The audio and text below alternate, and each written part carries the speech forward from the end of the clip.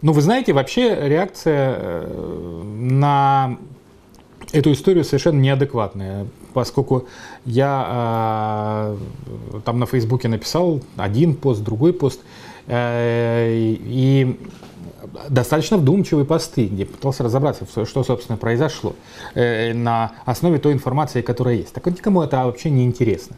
Всем интересно э, только то, что человек ходил, значит, с э, головой отрезанной ребенка возле метро, и все.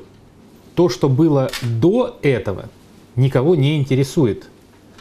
А, и все событие заключается в хождении ее у метро. Ну, а если люди... Это вот нам а, показывает, почему, собственно, федеральные телеканалы отказались показывать. Если люди на Фейсбуке а, реагируют вот так, люди, в общем, а, ну, умеющие хотя бы писать на Фейсбуке, то как на это отреагирует аудитория федеральных телеканалов? Это, она отреагирует на это еще лапидарнее.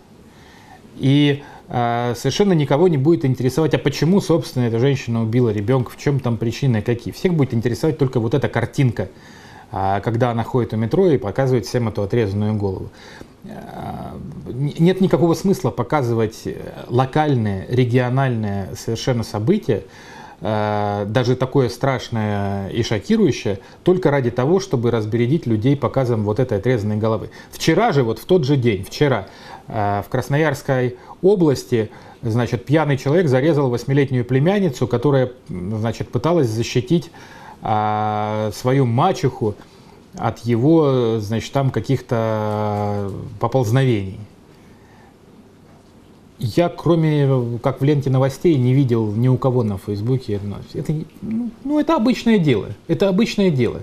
И представим себе на секундочку, что эта женщина не отрезала голову и не ходила с ней около метро, а просто задушила малышку, подожгла квартиру и ушла. Какова бы была реакция на это общественности? Нулевая. Всем было бы наплевать.